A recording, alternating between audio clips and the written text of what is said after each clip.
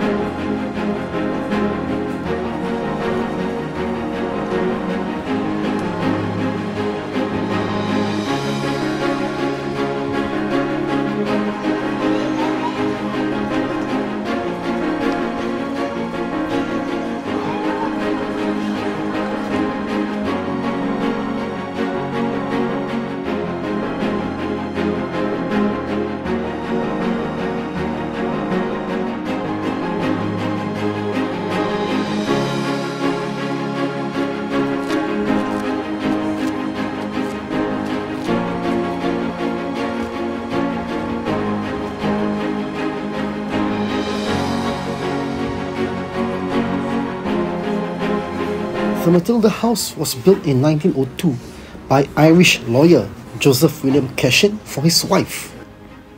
The wealthy Cashin family regarded the Matilda House as a weekend resort. This house was also known as Istana Menanti or Waiting Palace in Malay. Originally from Ireland, the Cashin family were then one of the wealthiest Eurasian family in Singapore, owning their fortunes to opium farm which were still legal in the late 19th century. With massive wealth, Joseph William Cashin purchased multiple lands around the island, including the one where Matilda House sits today. During the 50s, the Cashin family started regularly live in the Matilda House until the 70s. The belief in whether Matilda House in Punggol is haunted remains subjective and varies among individuals. Some claim to have had supernatural experiences of feeling of unease when visiting the building. There was also stories gathered where Temenggong Daeng Ibrahim departed from Punggol in the 1960s and founded Tanjung Putri. And a few years later, Tanjung Putri was named Johor Bahru by Maharaja Abu Bakar.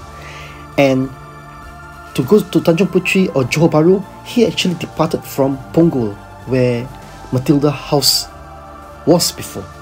Okay, Maharaja Abu Bakar was said to have perhaps regularly passed through Matilda Estate to sail across Tanjung Putri. Upon his return to Singapore, he would land at Punggol Beach and walk 200 meters to Istana Menanti before heading back through Serangoon Road to his istana in Tyersall. Matilda House includes its occupation by the Japanese Navy during World War II may contribute to stories and legends surrounding the building. The tales often add to the mystique and intrigue associated with haunted locations. Perhaps due to disuse and lack of maintenance, the house fell into ruins and inspired rumors of it being haunted and that it cannot be demolished. It was referred to as a ghost house. Today, Matilda House found its soul through new residents living around its area and founded the name The Treasure Trove.